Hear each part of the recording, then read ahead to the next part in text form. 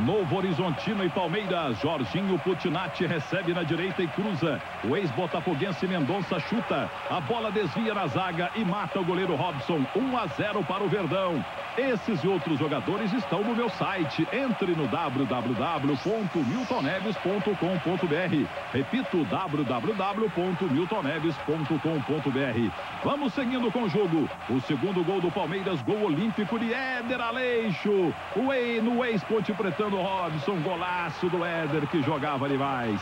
E para fechar o placar, o artilheiro Edmar recebe de Gerson Caçapa. Passa pela defesa do Novo Horizontino que tinha o Orlando Fumaça. Orlando Paulada Fumaça. E bate na saída de Robson. Dia 28 de junho de 86 em Novo Horizonte. Sumido Novo Horizontino 0, Palmeiras.